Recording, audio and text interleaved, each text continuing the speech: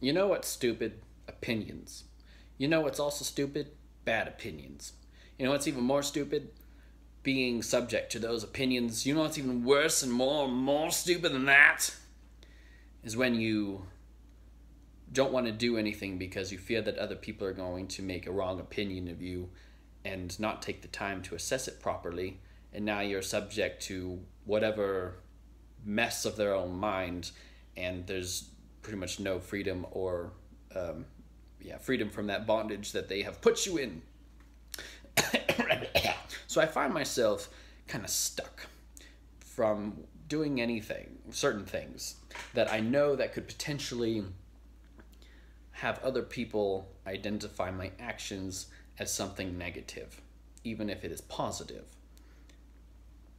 And which is not good. I, I think I'm getting a lot better with just like not caring. But if if these certain people are kind of key people in my social groups, then I would find myself kind of trapped in in doing certain things because then I there's the potential that they might make an opinion that that you know they think that I'm a but a moral decision, moral um, judgment on my character um, and that kind of starts to potentially permeate throughout the rest of the group and then you have to like defend yourself um, not just to them but then who knows what else the communication went from there and and you're just at a loss. You just don't know what to do. And so it kind of it, that kind of bounds me or like it it um, it paralyzes me to do anything because once that goes out of your control and um, there's there's really no way that you can rationalize um,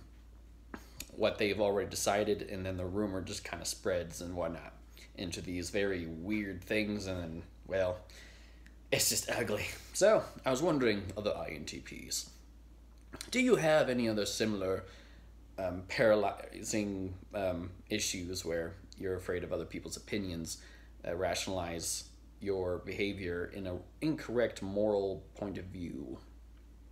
Let me know in the worm section below because that's where worms hang out.